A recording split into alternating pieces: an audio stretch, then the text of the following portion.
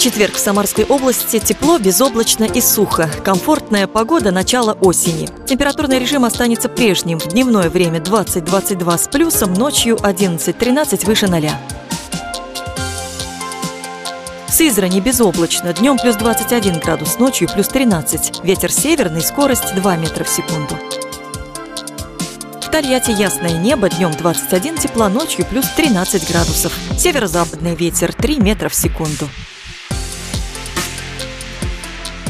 В Самаре ясно и без осадков, днем 21 градус тепла, ночью плюс 11. Ветер северного направления 2 метра в секунду. Атмосферное давление 755 миллиметров ртутного столба. Влажность воздуха 38%. В геомагнитном поле небольшие возмущения.